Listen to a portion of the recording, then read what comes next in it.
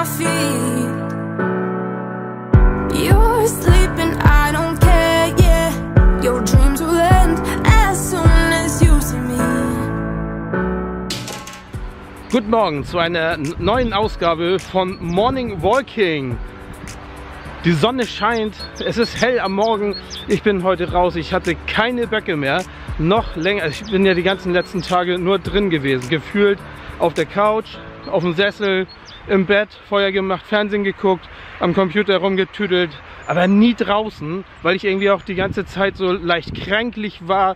leicht kränklich, genau. Also, ich weiß nicht, ob das eine Erkältung war oder ob das irgendwas anderes war, nur jetzt geht's endlich mal wieder zum Morning Walking. Ich wäre nicht so der Blumentyp, aber die Dinger sind mir dann doch aufgefallen. Im alten Haus hatte ich ja meine Morning Walking Strecke, ne? Da wusste ich, wo ich lang gehe, bei jedem Matsch- und Regenwetter. Und jetzt muss ich mir hier irgendwo einen neuen Weg suchen. Und das ist gar nicht mal so leicht. Wo ich jetzt hier gerade längs laufe, ist das, glaube ich, für diese Schuhe hier irgendwie nicht so richtig. Ich weiß nicht. Ich glaube, hier geht das sowieso nicht weiter. Hab mir das vorher bei Google Maps angeguckt. Irgendwo soll hier ein Weg lang gehen. Aber hier ist Ende. Ha. Sackgasse. Einfach kein Weiterkommen. Okay, dann mal Rückwärtsgang einmal wieder zurück, einen anderen Weg finden. Oh, das ist mal echt blöd, ne? Der Weg dann im alten Haus war nämlich so richtig gut. Da konnte man schön in so einer fast 10.000 Schritte Challenge, also man konnte so, ne, das waren glaube ich 8.000 Schritte und dann konnte man noch ein bisschen was einkaufen gehen und so. Und hier ist irgendwie gar nichts. Hier ist irgendwie nur Matsch. Ich muss mir das bei Google Maps nachher nochmal angucken, wo das hier längs geht. Kann nicht angehen. Wanderung ist zu Ende. Da muss ich mir wirklich nochmal was einfallen lassen, weil der Weg in dem alten Haus, der war echt tausendmal besser. Ne? Hier ist alles nur matschig, hier ist kein richtiger Rundweg, hier ist... Ich werde noch was finden. So, und jetzt mal gucken, wie der Tag beginnt. Ich habe jetzt in der Zwischenzeit erstmal hier ein bisschen den Ofen angemacht, weil das doch irgendwie ein bisschen kühl ist, obwohl die Sonne draußen scheint. Ne? Aber es ist kalt. Und jetzt, ich habe hier schon den Schraubenzieher in der Hand, wir haben hier ja diese Tür hier, das ist ja sozusagen unsere Eingangstür. Ich gehe mal ein bisschen weiter weg. So sieht das da aus hier, die Eingangstür. So zu diesem Wohnbereich hier. Und wir haben uns überlegt, die Tür, die lassen wir einfach auf, weil wir das hier als ein Familienhaus nutzen. Und dann ist das irgendwie offener und cooler irgendwie, wenn die Tür offen ist. So, aber jetzt steht die hier immer so auf und Marie hat hier diese Bank davor gestellt und dann hat sie mich mal gefragt, ob ich nicht die Tür mal rausheben kann. Und eben gehe ich da ran, so an die Tür, will die hochheben. Aber es geht gar nicht, weil das irgendwie so eine anderen Scharniere sind. Kurz mal ins Büro rein hier. Das sind ja so die normalen Scharniere, da hebt man die Tür raus und dann ist die weg. Aber bei der Eingangstür ist das irgendwie anders. Also, und jetzt muss ich erstmal gucken. Ich schätze mal, hier schraubt man einfach das Ding hier unten ab. Hier, da kann man so ein Stück rausschrauben. Und dann kann man wahrscheinlich so einen Stift da rausziehen und die Tür einfach so nach vorne wegnehmen oder so. Ich teste das mal.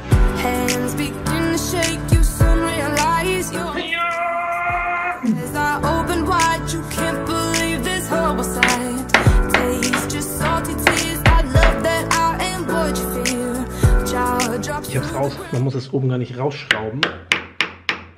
Man kann einfach den Stift nach oben rausdrücken. Aber halt, unten ist ja auch noch einer. Dann fällt mir das nachher oben raus und unten ist sie noch gar nicht ab. Also erstmal unten abmachen. Einbrecher! Was macht ihr in unserem Kühlschrank? Was soll das? Was soll das? Hier wird nichts geklaut. Weg hier. Weg, weg, weg, weg. Pack die da wieder rein. Nein, Pack nein. die da Die wieder wollt- die wollt rein. haben. Die ist weich. Sag mal, guck mal, die ist weich, ne? Weich. Aber ich musste vorhin erst selber erstmal googeln. Doch, die sind richtig biegsam, die Dinger. Man kann die ins Wasser legen und dann sind die wieder knackig. Willst du ins Wasser legen oder so essen? Kann man auch so essen. Und verscheuch mal die Einbrecher hier. Was soll das? Die haben uns die Gurke geklaut. Okay. Achso, ins Wasser legen? Ja. Nimmst du die anderen alle mit? Nee. Weg ist er. Und jetzt geht's weiter mit der Tür. Obwohl, vielleicht sollte ich die mal gar nicht ausbauen, wenn hier ständig Räuber kommen und uns alles wegmopsen. Muss mein Werkzeug. Der Schraubenzieher rutscht immer ab hier, das ist doch echt ätzend. Ich weiß, ich soll nicht immer so viel Motz, äh, schimpfen, aber wenn der immer abrutscht, das nervt. Nun fing eigentlich alles gut an. Ich habe das da oben gut hingekriegt, der Stift ist da schon raus. Jetzt wird das unten nichts, ne? Der ist auch schon gut rund. Und das Problem ist, alle Kreuzschraubenzieher sehen so aus. Trotzdem mal mit dem anderen versuchen. Also, schauen wir hier mal. Hier ist ja alles Mögliche, aber leider kein Kreuzschraubenzieher.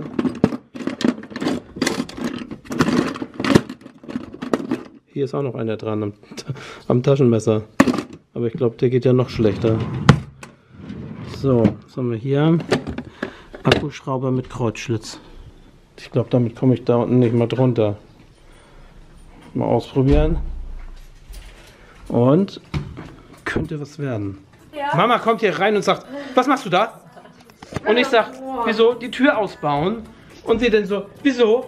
Und, hä? Da haben wir vor ein paar Tagen drüber gesprochen. Ich wusste aber nicht, dass es heute schon losgeht. Ich dachte, ich habe Alzheimer. Nein, ich habe auch schon Alzheimer. Also, Mit 40? Ja, Alter, bist du schon 40 Jahre? ich Du siehst eigentlich aus wie ich 25. werde 41. Hast du das eben gehört? Dankeschön, Steffi.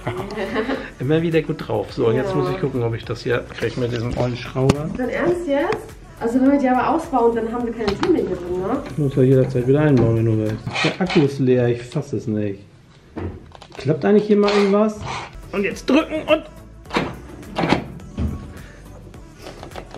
Schnucki, der Akku ist leer. Es soll einfach nicht funktionieren, ne? Warum kann man nicht einfach mal so seinen Schraubenzieher nehmen, den Kreuzschraubenzieher, der noch heil ist und nicht abgeknaddelt und die Schraube abdrehen, die nicht fest sitzt oder den Akkuschrauber, der hat wieder ein bisschen Strom. Es geht weiter. So schön, wenn der Ofen, Ofen an ist. Oh, ich mühe mir hier einen ab, schwitze schon wie Sau und Marie sagt, das ist so schön, wenn der Ofen Ja, an ist. so schön. Ich weiß was, ich war jetzt eine Stunde oder so im, in der Garage, hab da aufgeräumt. Ähm, ich hab, bin so erfroren. Da war ich noch nicht einmal drin zum Aufräumen.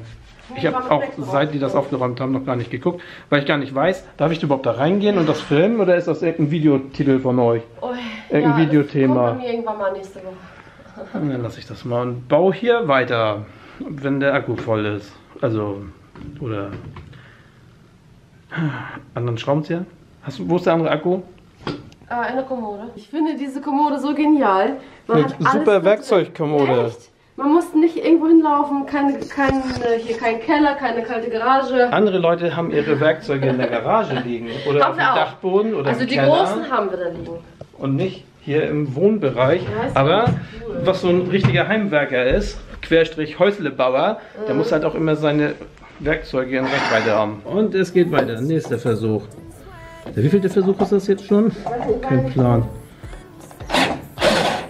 Och Mann, dreh doch nicht durch, da verflixt. Scheiße. Es wird nichts, ne? Es gibt ja noch die Notvariante, indem man einfach hier diese zwei Stifte, die hier reingehen, da kann man ja auch rausschrauben mit dem Imbusschlüssel. Erstmal hier die Gummidichtung raus. Und dann dieser Proppen hier, der muss hier weg. Also ich habe gerade so gemacht. Hättest du mal hier das Gummiding da weg? Ja. Dieses Teil, oder, oder halt die Kamera, genau. Gute, gute Idee. Da hat auch irgendwann schon mal einer irgendwie dran rumgepult hier, ne? Ja, vielleicht haben die das ausgetauscht irgendwann mal. Nee, ich glaube, Teppichmesser war keine gute Idee, oder? Zu weich. Vielleicht bricht nur die Klinge ab. Immer so ein bisschen lose rangeln, links. re- Du bist sowieso der Beste, Weg. was das angeht. Sehr, geduld, sehr geduldig. Ja, ne? Das Schein trübt. Manchmal. Da ist auch noch was fest. Nee, das ist also auch noch was, ja, aber hätte ich ja mal auch da oben. So kann ich hier das gleich einfach rausziehen, das hier ab, Achso, theoretisch. theoretisch. Praktisch. Okay. Doch nicht, das war die Hier Theorie. steht irgendwie so viel rum, ne? Ja.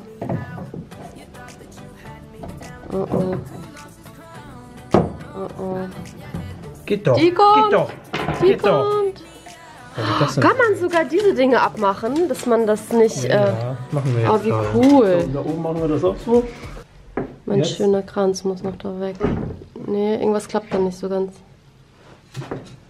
Naja gut, das Gesicht von der Tür hängt ja auch noch irgendwie da im Mhm. Weg, ne? Aber schon nicht, dass uns gleich raufknallt, ne? Auf Fliesen, dann gehen die Fliesen kaputt. Jetzt Und dann? Das auch nicht so richtig, weil ich hier den Stift schon rausgezogen hatte. Und weißt du was? Dann kann ich auch mit dem Stift hier weitermachen. Unten so, oben anders. Okay, aber Schnucki, Und die dann wird- knallt sie gleich auf den Boden. Ah, Moment kann sie nicht knallen, weil der Schraubenzieher noch dazwischen ist. Ja, aber kriegst du die alleine bewegt überhaupt oder soll ich dir helfen beim Tragen? Ach, das Ist die nicht schwer? Ja, die kommt. Tatsächlich. Krass, wir haben keine Tür mehr und wir haben jetzt viel mehr Platz. Super! Wir haben keine Tür Ja. mehr! Andere freuen sich, wenn die drin sind. Wir freuen uns, wenn die raus sind. Ja, da haben wir mehr Platz. Also hat auch mehr Luft zum Atmen. Wieso kriege ich denn das nicht raus? Ja, muss noch ein Stückchen, glaube ich, Muss äh, den da Blechhammer raus. noch mal nehmen. Ja. Ja, jetzt. Wobei ich natürlich jetzt auch hier so ein bisschen Tür und Zeige damit kaputt mache. Ah, perfekt. So, Garage. Juhu! Nein, das ist immer ist schwer. Oh, Was ist echt jetzt? denn? Ich sage, es ist eine Eingangstür. Es ist keine Zimmertür. Das ist eine richtig fette Okay. Wohnungseingangstür. Fertig! Supi! Zieh mal Schuhe an, ich komme mit dir mit. Wohin will ich denn? Garage. Was will ich denn da? Die Tür dahin bringen. Oh mein Gott. Also Schnucki, komm her. Ist Gerade fragt sie mich noch, wird die Garage aufgemacht? Und das war deine Idee, das doch da wegzubringen, oder? Ja, ich habe nur gesehen, dass die Garage plötzlich offen ist. Ja, so. Also, wärmen die Muckis an und dann geht's los. Vielleicht sollte ich erstmal meine Muckis an. Oh ne, die sind warm. Lass erst mal die Jacke anziehen. Komm jetzt. Jacke, das ist.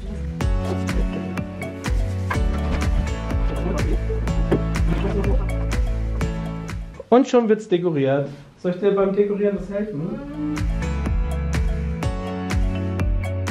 Und dann sieht das aus wie neu. Und jetzt gibt's die Nudelfanne hier. Die ist eigentlich, die ich gestern übergangen bin. Ich habe ja im Kühlschrank gar nicht gesehen, dass noch was war. Und dann hatte ich ja mein Essen. War das vorgestern schon? Nee, das war gestern. Also ich habe Gestern, gestern, ne? ge- vorgestern gekocht und du hast es gestern. Und Äh, dafür gibt es jetzt angebrannte Nudelfanne. Mit Hacken, Gemüse. Mmh. Wer will da was? Kein Plan. Wer stört unsere Ruhe? So, und Feierabend für heute. Ich habe jetzt gerade eben einmal ein YouTube-Video, ein Tip-Tap-Tube-Video hochgeladen äh, von dieser Challenge, dieses flüssig, normal oder trocken, normal oder flüssig. Oh, bis das mal so durch die Gehirnwindungen durch ist überall. Ne? Also, das Video haben wir gerade hochgeladen bei TipTapTube und ich habe mal ein, ja, ich habe eine Kamera so daneben mitlaufen lassen, um das Ganze mal uncut zu zeigen, was wir da so machen. Es ist ja immer noch ein bisschen mehr als das, was zum Schluss bei TipTap rauskommt. Ja, so, und gerade eben habe ich jetzt auch schon mal so ein bisschen hier unsere Trockenmaschine, die ist ja immer noch nicht wieder zurück und nicht repariert und heute musste ich da schon wieder Amazon anschreiben, weil die nämlich uns zwar fragen nach, wo ist die Rechnung und wie ist die Nummer von der Maschine und die wollen alles wissen und dann sind sie weg. Wohlgemerkt nicht Amazon, sondern AO. Also die verkaufen über Amazon und eigentlich mit der Lieferung waren die ganz schnell. Das ging ganz ruckzuck, die waren schnell, die waren nett und das war da und dann war gut. Aber jetzt fühle ich mich ein bisschen allein gelassen. Wir trocknen hier im Raum auf unserem neuen Wäschetrockner und die etwas schwerer zu trocknenden Sachen wie Handtücher, die trocknen hier um unseren Trockenofen herum. Zum Glück haben wir den. Und also, das haben wir jetzt auch mal nicht ganz so auf großer Flamme, weil es hier drinnen nämlich echt warm ist. Weil es draußen natürlich nicht so kalt ist. Aber wir können das nicht endlos trocken kriegen hier. Und irgendwie, ABZ-Garantie gibt es dann auch nicht mehr. Ne? Dafür sind wir ja schon um Monate drüber. Das gilt irgendwie nur in den, in den ersten 90 Tagen, glaube ich. Ich glaube nicht mal 90, ne? 30. Also auf jeden Fall sind wir weit drüber. Das ist äh, vier Monate her. So weit sind wir dann auch wieder nicht drüber. Naja, mal gucken, was da jetzt passiert. Ich habe mir auch schon gedacht, wisst ihr was, wenn ihr mich hier so verarscht und sich keiner meldet, bestelle ich mir das Ding einfach neu. Und dann sage ich nach einem Tag, so, die ist kaputt und dann kriegen die die alte wieder zurück. Aber die Maschine gibt es nicht mehr bei Amazon. Da komme ich jetzt auch nicht weiter. Außerdem sind wir ja auch keine Betrüger. Die sollen sich mal melden, Mann. Das ist doch ein Geschäft. Die haben uns was verkauft, das ist Schrott, also sollen die sich mal drum kümmern. Wir müssen uns auch immer um alles kümmern. Ich mache jetzt Feierabend. Oder? Was ist hier los? Besprechung. Besprechung, soll ich dabei sein? Nein. Und tschüss.